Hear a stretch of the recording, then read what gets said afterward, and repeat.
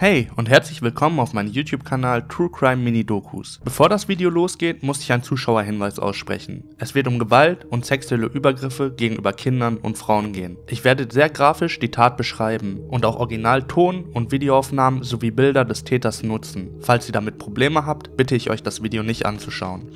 Dennis Lynn Rader, auch der BTK-Killer genannt, ist ein US-amerikanischer Serienmörder. Das BTK steht für Bind, Torture, Kill, zu Deutsch Fesseln, Quälen, Töten. Diesen Namen gab er sich selber in mehreren Briefen und Nachrichten, die er den Medien zuspielte. Und genau das tat er auch. Fesseln, Quälen und Töten. Die meisten seiner Opfer waren Frauen, die er bereits mehrere Monate zuvor stalkte. Er wurde im Jahr 2005, 14 Jahre nach seiner letzten Tat gefasst, durch einen unglaublich dummen Fehler, der ihm unterlaufen ist. Dennis Rader wurde am 9. März 1945 in Pittsburgh, Kansas geboren. Nach Aussagen von Rader hatten er und sein Vater ein gutes Verhältnis. Mit seiner Mutter kam er nicht besonders gut klar. Seine sexuellen Mordfantasien entwickelte er bereits als Teenager. Diese ließen ihn im Erwachsenenalter nicht los. Im Jahr 1970 lernte er seine heutige Ex-Frau in der Kirche kennen. Knapp ein Jahr später heirateten die beiden. Diese Ehe hielt auch bis zum Jahr 2005. Kurz zuvor hatte die Welt erfahren, wer Dennis Rader wirklich ist. Im Jahr 1974 begann begann er seine Arbeit als Installateur für Sicherheitssysteme. Im gleichen Jahr fing er damit an, seine Mordfantasien in die Tat umzusetzen.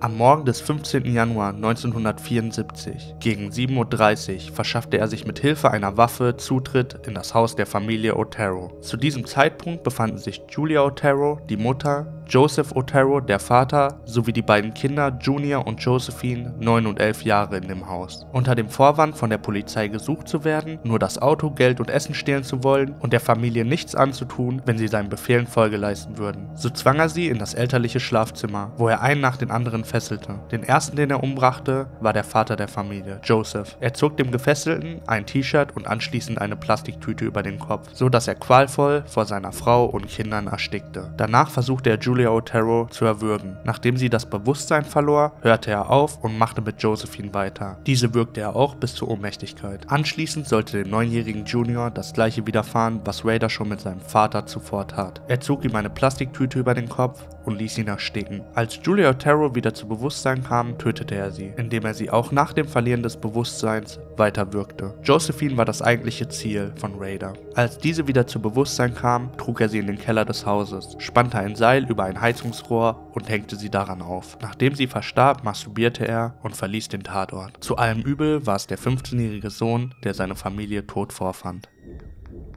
Als Mr. und Mrs. Otero tot waren, zog ich Junior eine Tüte über den Kopf und brachte ihn in einen anderen Raum. Also ich packte ihm eine Tüte über den Kopf und ein Stück Stoff bzw. ein T-Shirt, damit er kein Loch da reinreißen kann. Und äh, dann starb er. Danach wurde Josephine wieder wach. Ich brachte sie in den Keller und dann hängte ich sie auf. Ich hatte sexuelle Fantasien, aber das tat ich erst nachdem ich sie aufhing.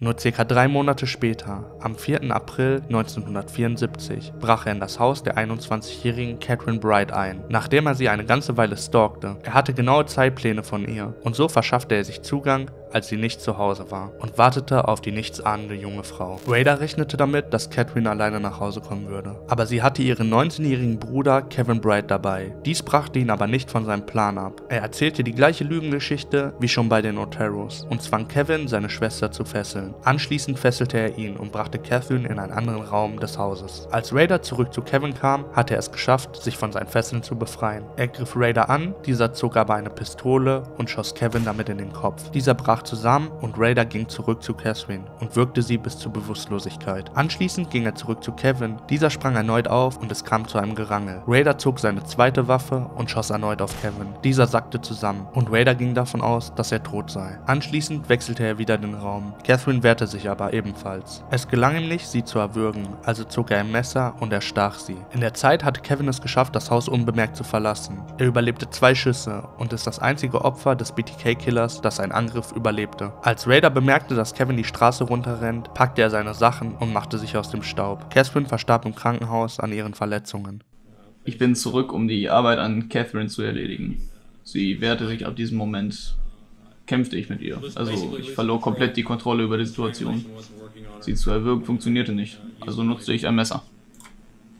Nach dieser Tat nahm er das erste Mal Kontakt zu der Polizei und Medien auf. Er schrieb einen Brief und versteckte diesen in einem Buch in einer öffentlichen Bibliothek. In diesem beschrieb er genau, wie die Familie Otero ermordet wurde. In dieser Nachricht gab er auch noch mehrere Optionen für seinen Namen und er gab bekannt, dass er weiter morden würde. Der erste Name auf der Liste war BTK. Diese Bibliothek war nur rund 18 Kilometer von seinem Haus entfernt. Die nächsten drei Jahre wurde es eher ruhig um den BTK. Er stalkte weiter Frauen, beging in dieser Zeit aber keine weiteren Morde. Bis zum 11. März 1977. Die 26-jährige Shirley Vian war das nächste Opfer. Sie wurde zufällig ausgewählt, da die Frau, die Raider an diesem Tag quälen und töten wollte, nicht zu Hause war. Er verfolgte einen Jungen, den er auf der Straße sah, bis zu einem Haus, er wartete einige Minuten und klingelte. Das Kind, was er eben noch verfolgt hatte, öffnete ihm die Tür. Er gab sich als Polizeibeamter aus und verschaffte sich so Zugang zu dem Haus. Dort sah er Shirley Vian. Er erklärte ihr, dass er krank sei und sie vergewaltigen wolle. Und wenn sie mitspielen würde, ihr und ihren Kindern nichts passieren würde. Raider und Shirley fesselten die Kinder und sperrten sie ins Badezimmer ein. Danach fesselte er Shirley ans Bett und zog ihr eine Tüte über den Kopf. Anschließend erwürgte er sie mit einem Seil. Auch hier verließ er die Wohnung, kurz nachdem er Shirley umgebracht hatte. Ich erzählte Mrs. WN, dass ich ein Problem mit sexuellen Fantasien habe. Dass ich sie und die Kinder fesseln müsste. Sie stimmte dem zu. Sie war extrem nervös. Sie rauchte eine Zigarette. Dann sind wir zurück in einen Vorraum. Ich erklärte ihr, dass ich dies bereits schon mehrfach gemacht hatte. Am Ende des Jahres 1977 schlug Raider erneut zu. Er tötete die 25-jährige Nancy Fox. Er wurde immer mitteilungsbedürftiger. So rief er von einer Telefonzelle die Polizei an und gab ihm bekannt, dass Nancy Fox ermordet in ihrem Haus liegen würde.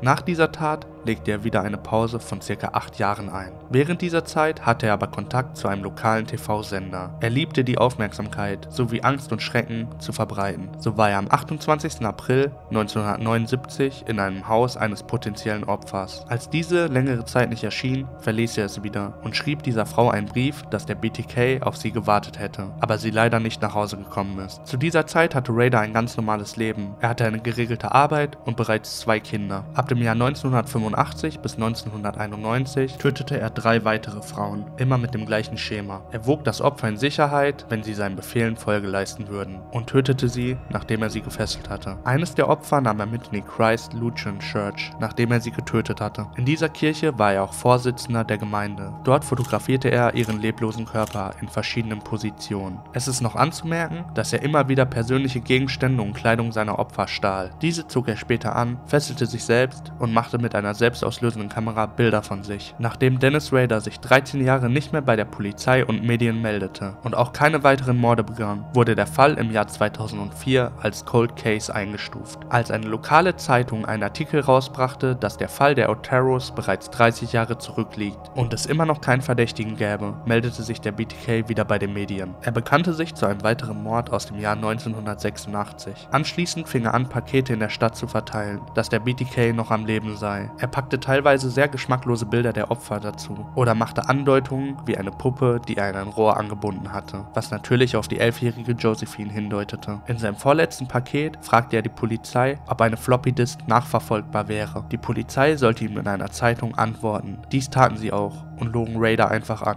So unantastbar wie er sich fühlte, glaubte er dies. Das letzte Paket, was er verteilte, enthielt eine Floppy Disk. Auf dieser wurde der Name Dennis R. gefunden und dass der letzte Bearbeitungsort die Christ Lutheran Church war. Nachdem Raider verhaftet wurde, gestand er und sagte aus, dass er weitere Morde geplant hat. Er hätte nie aufgehört, Frauen zu stalken und zu dem Zeitpunkt seiner Verhaftung hätte er 55 potenzielle Opfer gehabt. Seinen nächsten Mord hat er für Oktober 2004 geplant. Raider wurde am 27. Juni 2005 zu einer zehnmal lebenslänglichen Gefängnisstrafe verurteilt. Ich bedanke mich ganz herzlich, dass du das Video bis zum Ende angeschaut hast. Ich wünsche euch allen noch einen ganz wundervollen Abend, Tag oder Morgen und ansonsten, ciao.